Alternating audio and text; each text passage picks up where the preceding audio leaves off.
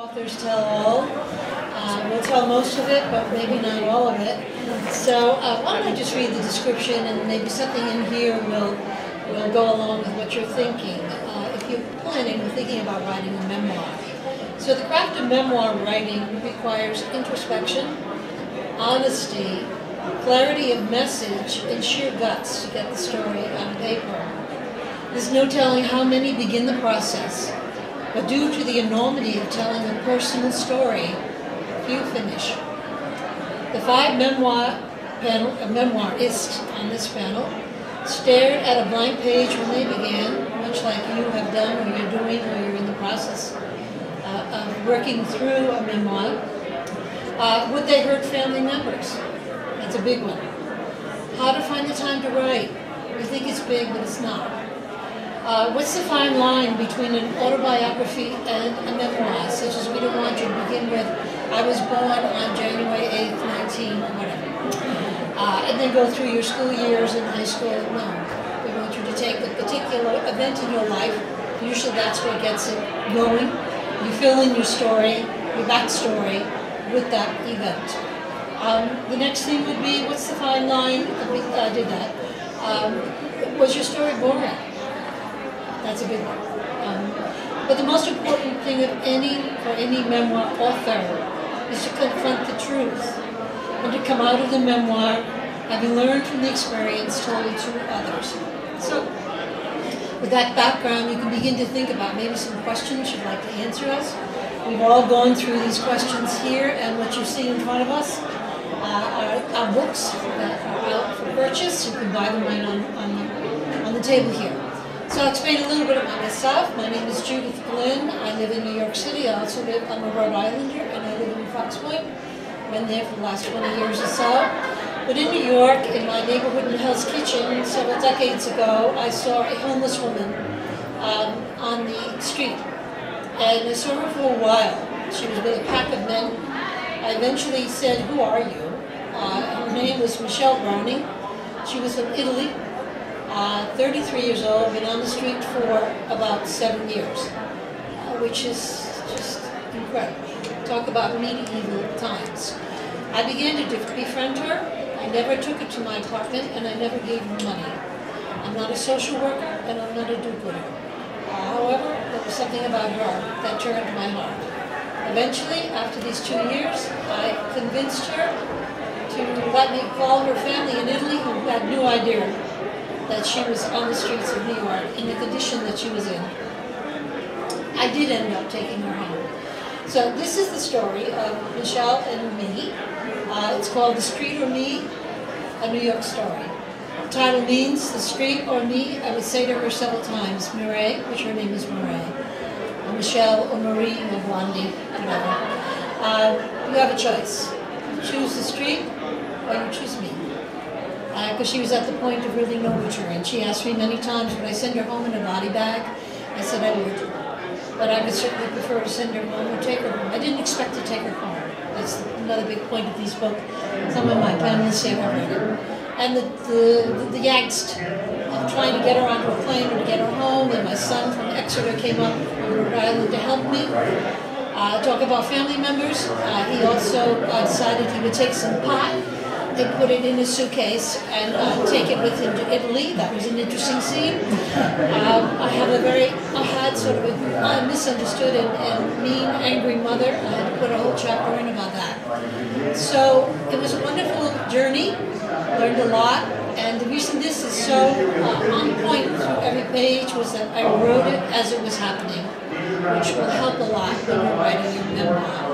Um, the dialogue is true, the scenes were fresh because I had really nobody else to tell it to. No one understood what I was doing in New York when I was this woman. So anyway, I'm sure my time is gone past my five minutes. Um, but you can do that when you run the panel. so, uh, uh, ding ding ding. I will introduce each of them and give the description that they would like to me to read to you. They too have their five minutes. And uh, their books are for sale, and also please keep in mind there's hopefully a question and answer time at the end. So beside me, and we do this by alphabetical uh, names, so as not to favor anybody, although we wouldn't do that. Uh, Linda Carvelli is the author of Perfectly Negative, How I Learned to Embrace Life's Lemons as Lessons. Her story chronicles a decade of overwhelming loss, some of which includes her parents and her only sister's death, all to cancer. After Linda's bout with the disease and when she lost her 14-year career in corporate America, those events were the game changer and basis for Linda's path to a winning lifestyle. Thank you, Julie. Can everybody hear me okay? No? Closer, closer. Is That better? Okay. So thank you all for being here today. Um, I, for one, am very grateful for the opportunity to share my story with you and the journey that I took on Memoir Writing Road. Say that three times fast. So um, I've always loved to write, and um, for the longest time, however, my writing was for my eyes only. As a young girl, I, as a young girl, my locked diary knew about all the typical girl drama that I got caught up in. And during my, excuse me, during my second year of college, only my journal knew how frightened I was when my mother was diagnosed with breast cancer. And when I met the man that I that would become my first husband, my journal knew all the doubts I had about our relationship. At some point, I realized that I only wrote when I felt confused, sad, angry, or mad, or confused, sad, or angry. And that reading my journal helped me sort out my thoughts and help me move forward. My mom was re-diagnosed with terminal breast cancer four weeks before my first wedding. To prevent my hand from falling off, I started to type in my computer instead. My mom passed away two years after that. And the following 10 years were filled with one heartache after another. My sister was diagnosed with breast cancer. My husband divorced me. My sister was re-diagnosed with breast cancer. Our dad passed away of leukemia. I was then diagnosed with breast cancer. My sister passed away, and to top it all off, my live-in boyfriend was keeping a mistress on our boat, docked only about a mile away from our house. Throughout the 10 years, however, one constant in my life was writing. And as you can imagine, I had a lot of journals. The other constant was that I still continued to keep my journals to myself. It wasn't until after my sister passed away that I started to attend a writing workshop. My writing instructor and fellow classmates uncovered the courage I never knew I had. As I read my stories out loud for my eager listeners, I was reminded of a long forgotten goal I had to write a book. I never imagined that my life would be the top, topic of that book. But I realized the powerful impact my life story could have on many more people. People who may be dealing with one or more of the painful experiences that I dealt with. As Judith mentioned, I lost my corporate job after 14 years. And after everything I had lost pre previously, it was that job loss that helped me realize how negative events can actually transform into something positive. And that sometimes things really do happen for a reason. I decided to turn my writing hobby into my full-time job, a non-paying job, unfortunately. I hired a writing coach slash book architect who not only pushed me to write 5,000 words per week, but he also helped me to structure the book, and he found its theme. My transformation actually began when I realized that my life was best described by the theme of my book. And that is that everything happens for a reason, we just don't get the reason at the same time as the thing. You see, it took me 10 years of heartache to finally put my life in perspective and give meaning to my suffering.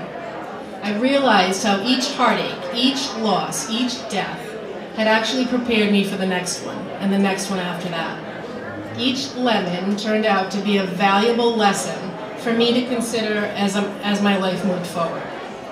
Writing a book is hard. At least it was for me. Very hard. and a memoir, I think, is a little bit harder. I always knew that rehashing the most painful years of my life would be emotional. Ding dong ding. but I never anticipated the personal transformation I would experience. What should I skip? No. I think the end result of my memoir is that it's about resilience. It's not a story about being a victim, blaming others, or getting revenge. During the process of writing and reading my memoir, I started to see my past life with a new perspective and live my, my remaining life with a new mindset. And that mindset is something I call a learner's mindset. Basically, I view each experience as an experiment, and I make mental and sometimes I still write notes about what worked well and what the experience can teach me as I move forward. Perfectly Negative is really about embracing all that life has to offer, accepting that the bad stuff actually may have a purpose, even if only to help us recognize and appreciate the good stuff. And maybe most important, that when we bounce back from the bad stuff, we're able to help ourselves heal, others heal, and help them bounce back too. Thank you. Okay, uh, the next author is Kitty Kittel. She's the author of Breathe, which you see in front of her. Kitty, you, excuse me, isn't that awful? Oh goodness, it's the Kittel that threw me off. So it's Kelly. in my book. Okay, oh Lord. Uh, I won't be the moderator next year. Okay, Kelly Kittel is the author of Breathe. Hold up your book. Um, an award-winning story of motherhood, the death of two of her children, a medical malpractice lawsuit, and family conflict in the face of unspeakable tragedy. Kelly lives on Aquidneck Island with her husband and three of her five living children but her favorite writing space is in their yurts on the Oregon coast. Kelly has been published in numerous magazines and anthologies. Thank you. I'm going to rush through this. Um, thanks for the nice introduction. I feel like I'm at the kids' table. I'm not sure why. And I do have water. I don't know what you guys are drinking. All right. So, um, yeah, quickly, because um, what I want to talk to you about today is the question of will my book hurt family members and do I have to change names? And that's a huge topic for five minutes. Um, quickly, my book, as Judith said, is about motherhood. Um, the, excuse me, the subtitle is Motherhood, Grief, and Family Conflict. The motherhood portion is exactly that. I always wanted to have a huge family. Um, I was pregnant 13 times and I have five living children. The grief part portion is that this book recounts the story of losing our fourth child, Noah, who was run over when he was 15 months old by my 16, then 16 year old niece in my in law's driveway. So lots of family there. And nine months later, our next baby, Jonah, died at birth. So we buried two boys in one year. It was a horrible year. Um, and then the family conflict portion.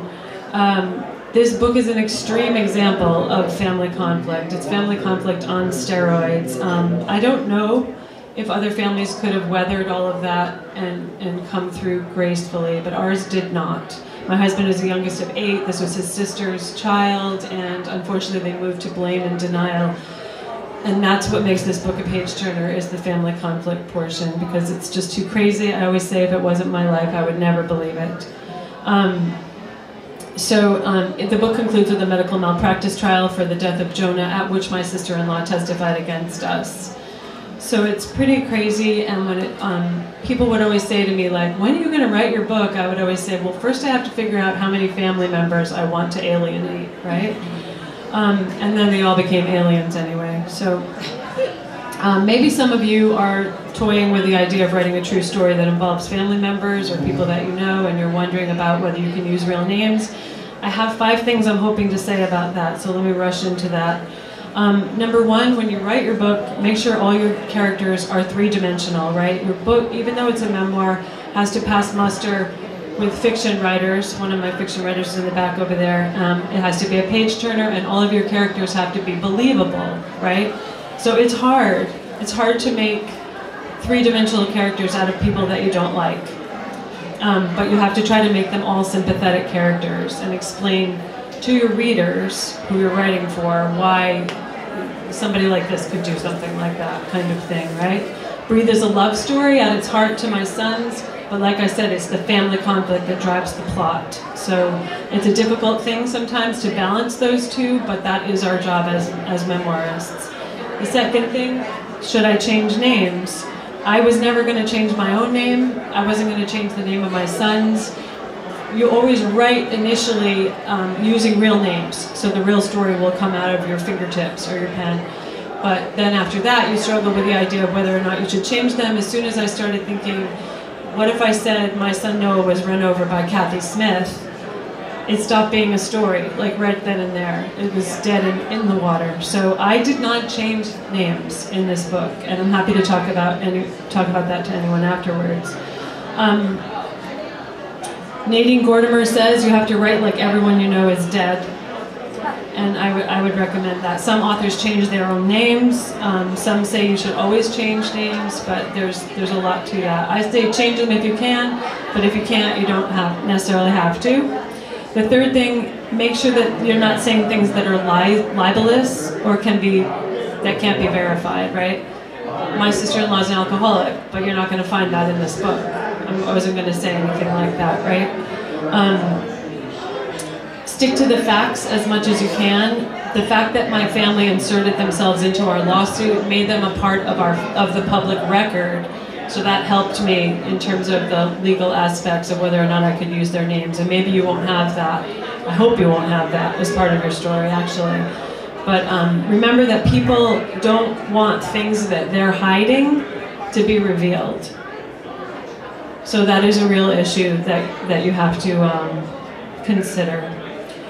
But what do they say? If people wanted you to write favorably about them, they would have behaved better, right? so it's not always possible. Consider getting legal vetting. You can hire an intellectual property lawyer. I did that. Ultimately, he said you have to roll the dice. You basically just, there's no protection. People can sue you for, for anything, right? But you have to determine ultimately whether or not it's worth it. And um, the burden of proof is always on the claimant. Um, memoir has been given kind of a bad name with people like James Frey and Greg Mortenson, you know, writing these pseudo memoirs. So there's a there's sort of a big hill to conquer there. But remember, memoir is is not revenge, like Linda just said. Although I used to think it was. Um, but if there's something that's nagging at you at the end of the day when you've written your book and revised it a million times, maybe reconsider it. The fourth thing is you're going to write a disclaimer in the beginning of your book. You can use one that's already been crafted or craft your own, but basically your publisher is not going to take any risk.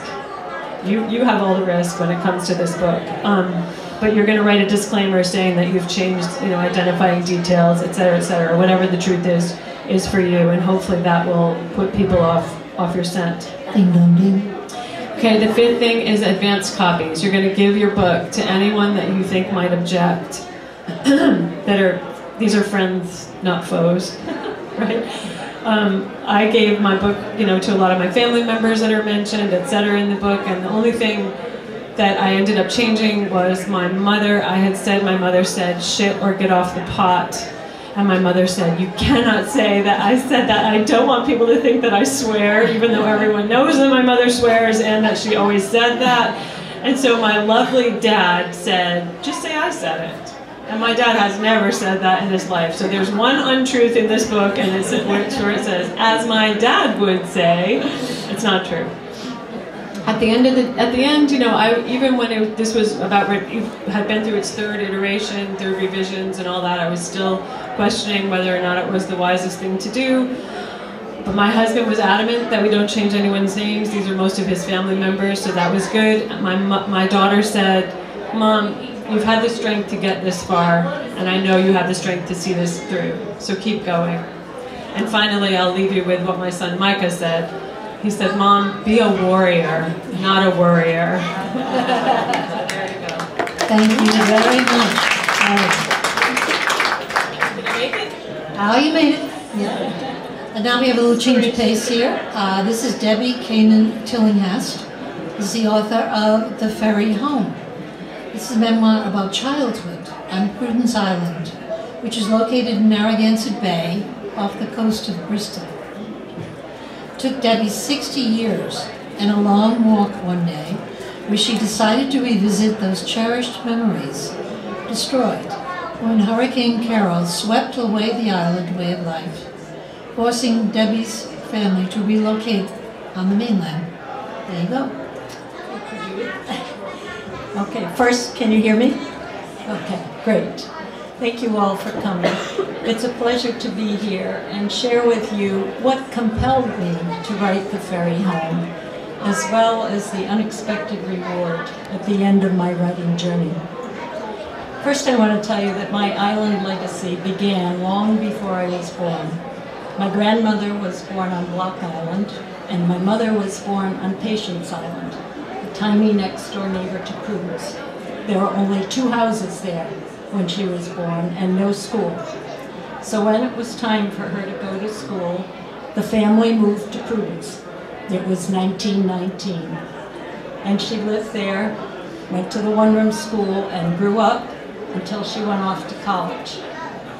A few years later, she met, married my dad. They came back to Prudence to raise their family, and that's where my story begins. We lived there year-round. My dad ran a store in the summertime, and my mom became the teacher now in the one-room schoolhouse until 1954. Hurricane Carol destroyed my dad's store and changed our lives forever. We moved off the island a year later. Over the years, as I grew up, went to college, married, had a family of my own, trips back to the island were infrequent, but Prudence still lived inside me. and then one day, a few years ago, I was walking with my son on a cold February day, and he said to me, Mom, are you okay? You don't seem quite yourself. Okay, thank you. And I thought for a minute, and I said, I'm fine, but I feel like there's something I'm supposed to do, and I have no idea what it is, and it's driving me crazy. So we finished our walk. I didn't think any more about it until a week later. I went to my local library.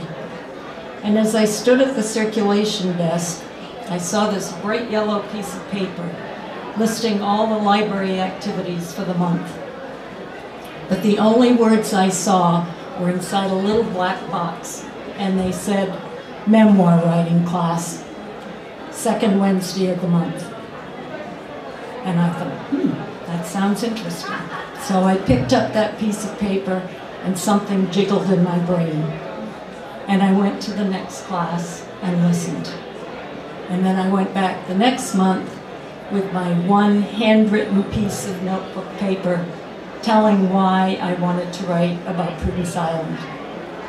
And at the end of the class, the teacher encouraged me to keep writing. And she said, you need to write a book. So I kept going back. Every month, a new story. Until finally, that first page of notebook paper became the first chapter in The Ferry Home. I began this journey for my children and my grandchildren. I wanted them to have the memories that I had. In the course of writing the book, I became reacquainted with a friend on Prudence Island. She was a summer swimming buddy. And although I hadn't seen her for 50 years, we renewed our friendship.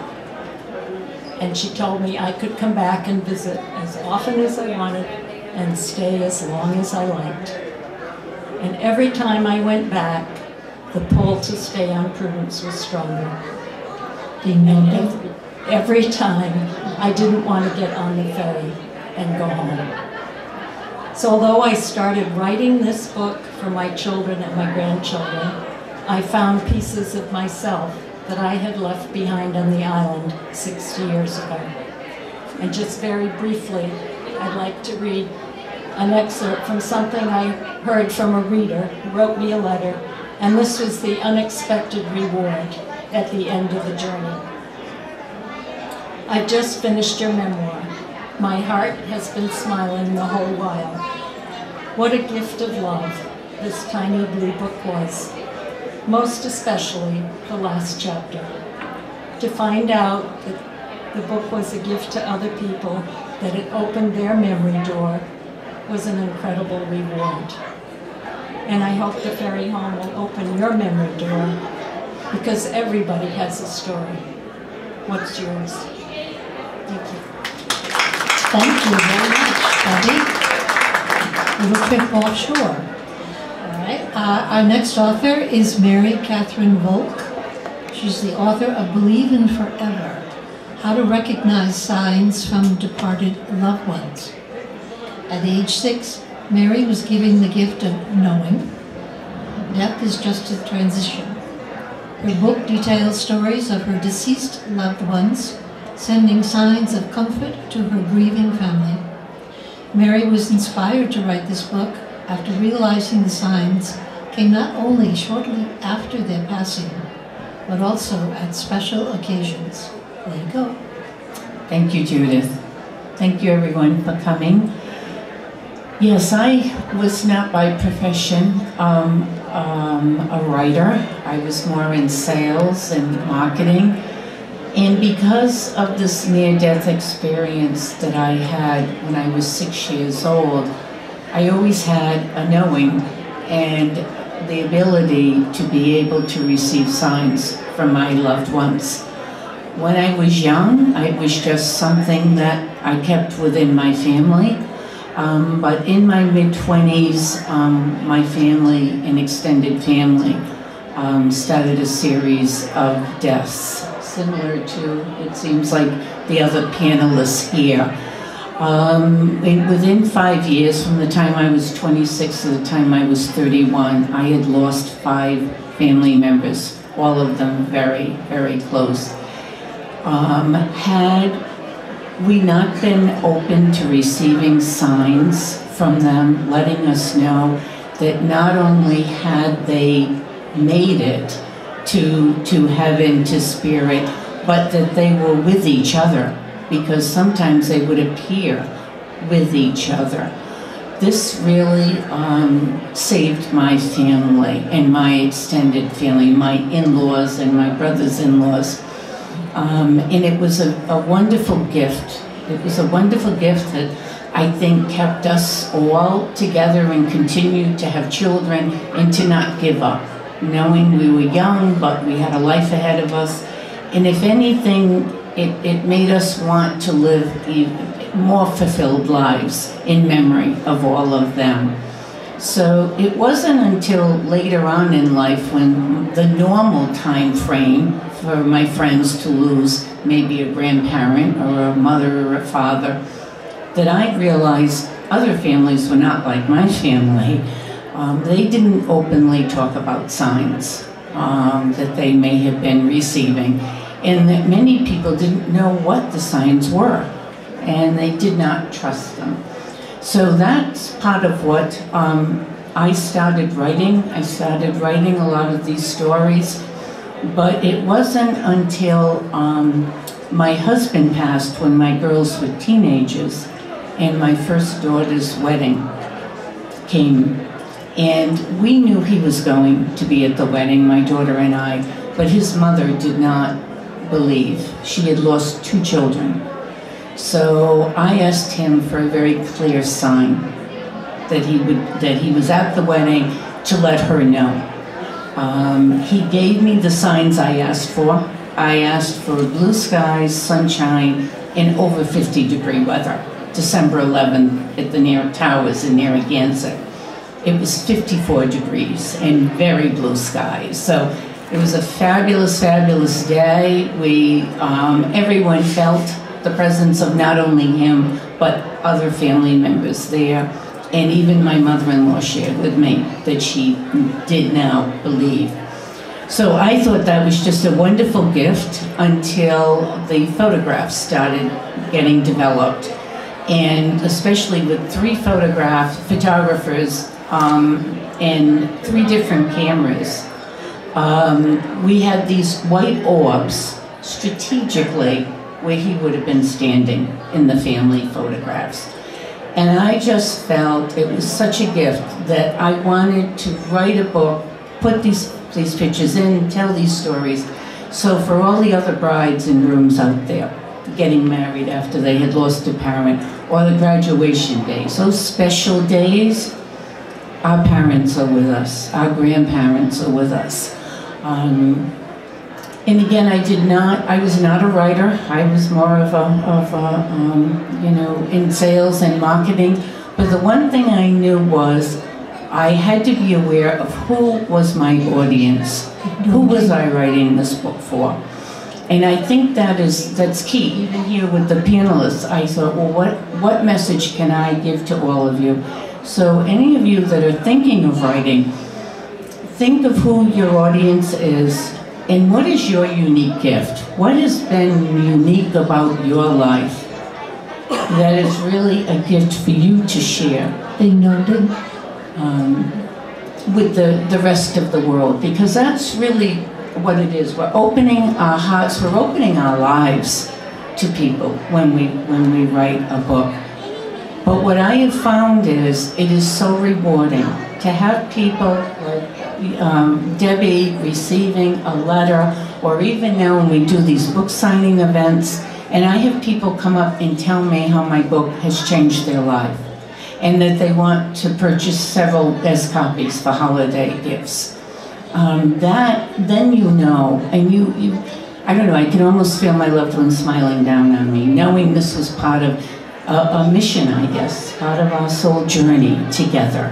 Um, so um, I would like to leave you with that, that if anybody has any doubts about signs, um, um, a lot of times we don't know what they are, but our loved ones um, continue to send their love in to be with us during special occasions or in times of need. So just feel free to ask them, ask for their help, and trust that you will receive it.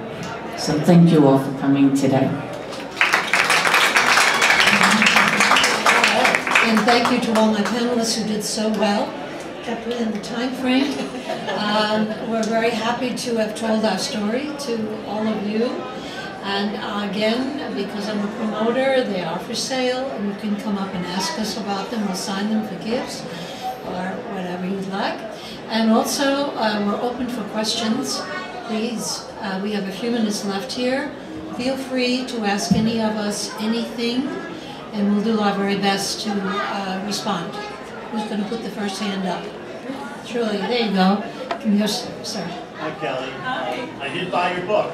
Yes, you did. and, uh, I have, I'm writing my own book now, and it is a, I guess it's a memoir, but it's, it's nonfiction, it's my story, and I call it Murder of the Prodigal Son, and how I, how I cured PTSD without drugs, got right? And my family turned against me because I refused to take any more psychiatric drugs. And it turned out to be extremely evil people. Extremely evil. And, and I, it, it got to the point, Kelly, where I actually had to change my name legally because I did not want to be associated with it. So now I'm writing the book. and their, their deeds are very, very bad. But I don't feel like I should pull back. I think their deeds are well reported. You know, they're, you can read them everywhere, you know, and their real names I'm going to use. And I know there's a fallout, but I've already decided that I don't want them in my life anyway. How about you? You, uh, write off your entire family? Yes. I I had they they had like I said they had already become alienated. We really tried hard to keep our family together. Um, the thought of suing our family, you know, my niece ran over my son. It was definitely her fault, but we never would have done that. That was an accident, you know. So it was pretty crazy that then when we were in a lawsuit for the next baby, which had nothing to do with them, that they would insert themselves into a legal matter, right? Because we were trying, we, that was horrifying to us. Um, so yeah, they were, they were all. There's so much more to the story, obviously, but they were so very hurtful towards us, and it's just bent over back. What my niece did was an accident. The rest of the stuff that happened was deliberate. So it's hard to forgive people like that, BS. You know, it's hard to forgive people who aren't sorry, who never say they're sorry, and aren't. That's example. That, that sentence is exactly it. It's hard to forgive people who are not sorry for what they did. Right. And in some in some instances are, are proud of it. But um, you know, there's probably narcissism and other sociopathic things going on within my own family. I don't know about yours. Um, you know, the last thing I ever wanted to do was be in another lawsuit. Like I said, this we had this medical malpractice lawsuit. So, 10 days of a trial. I mean, excuse me, seven full days of a trial. I lost 10 pounds. I never wanted to be in another court of law as long as I lived. So that was partly why I was so cautious or feeling so, uh, you know, nervous about it a little bit. And I was writing about lawyers and doctors. So, um, like I said, I mean, I think I think you still you need to get your first drafts out with their names and then maybe consult with a lawyer. That would be my advice. I think. And do we have another question? Madam, I saw you first. Let me press this to you so everybody can can hear. It makes it easier. There's enough room. Some of the doctors I would just write like Dr. H. I didn't use their name. But I sent a copy to all the doc- doctors that, not the ones that I sued, excuse me. There are other doctors in here that I didn't sue. I sent them all a copy. Um, so yeah, I did. And the lawyers, their names are used.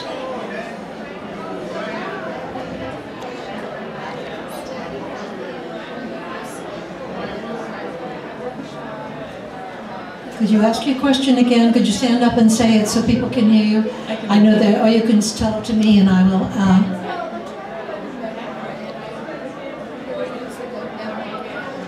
looking for a memoir coach or a memoir workshop in the area? Yeah. Uh, maybe I could take a half of that question. Uh, again, let's go back to uh, Debbie over here. She found hers at a lo- local library. You may want to check their, their events that they're having. Uh, there are, you don't have to go to college per se to take a whole curriculum, but there are college courses that are offered.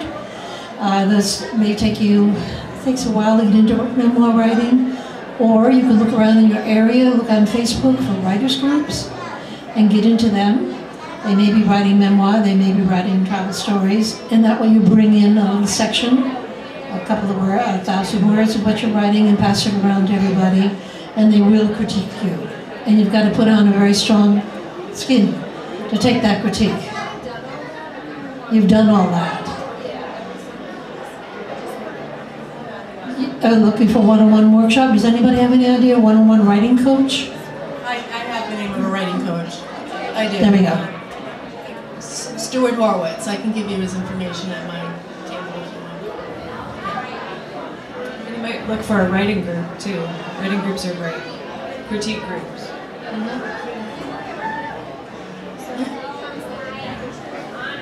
No, it shouldn't be a negative. I'm going to I'm to say that. If you say they don't get you, and there's five or six people in the group, I'm going to be a little tough here and say "Hey, maybe you're not coming across the right way. You need to take constructive criticism. That's hard. They're telling you this doesn't work. Um, it's hard, but try it their way too. They don't get you? All right. Well, perhaps a single writing coach one-on-one would be better. And they are, they're there, they're searching, they're out there. Yeah. Uh, someone else had a question. I think it was you? Yes. Would you stand up so we can hear you? Because you've got this background going on over here.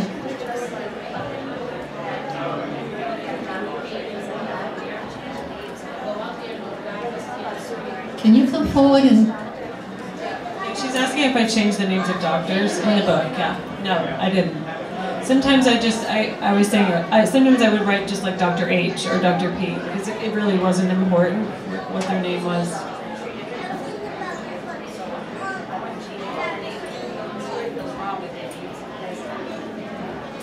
I understand, yeah, right. I actually gave um, copies of my book to my doctors. Told them they were in it and asked them if they wanted me to change their name. And they said no. So they do have that opportunity. But also, Linda was sharing earlier with me, like she changed her ex-husband's name to Drew, right? Dean. Dean. But everyone knows that it's her ex-husband. Like you know, it's like, It- everyone well, else in the people story that is know me that read my book know that it's him, but strangers would never know who that is. We have a few more minutes. Anyone else? Yes, could you speak loudly or, Yeah. okay. Uh, when you changed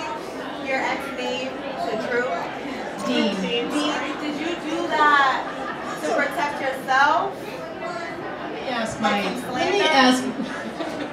Yeah. Um. No. No, I didn't. Um. I had the advice of a of an attorney that's not a literary attorney, um, and I changed his name and I changed the name of the live-in that was cheating on me with the mistress that lived on our boat. um, I've recently found out that my ex-husband has read the book, or at least the parts that he was in, and I haven't gotten a phone call. So, yeah. And to clarify, slander is spoken, Yeah. and libel is Oh, written. okay. What is it? Defamation Libel. Libel is written is what you're worried about. Yeah. And what I say in my, you know, as Kelly said earlier, what you put in your um, disclaimer, Yeah. I said that this was my memory, my interpretation, and everybody has their own story and their own um, perception of what happened. And if he did have a problem with it, I, you know, I write what you thought happened. You know, so. One more question. Hi. Um, this might be for Debbie. I'm writing my memoir about my childhood, and I'm finding it a challenge. When do I use the child's voice, and when do I speak as the adult, reflecting back? Because sometimes when I'm writing as a five-year-old, I don't want to write with the vocabulary of a five-year-old, but to tell the story from the five-year-old's perspective, I'm finding it a challenge. I wrote the stories as I remember them as a child, but I wrote them as an adult looking back. And I also began each chapter with a present day occurrence that, that triggered the memory of my childhood. So I wrote that in the present, and what I wrote about my childhood, I wrote in the past. Because that's the other thing that gets tricky is what tense to use. So the very beginning and very end of my chapters are present tense. They're memory. They're what I'm doing right now, and then the body of the story is in the past tense, but written as a childhood memory. One more? Yes, we do, sir. Uh, how about- four sons, I got a full-time job. I've got notes and stuff everywhere. It's like,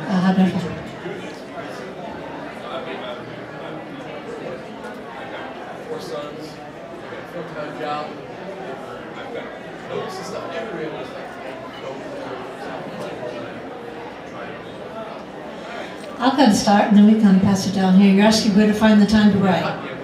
Um, well, it's you have so many hours in the day that you live. You have one choice. You can get up half an hour early in the morning and sit at that computer and stare at it. And sometimes you may get a paragraph, sometimes you may get 200 words. And then you go about your day.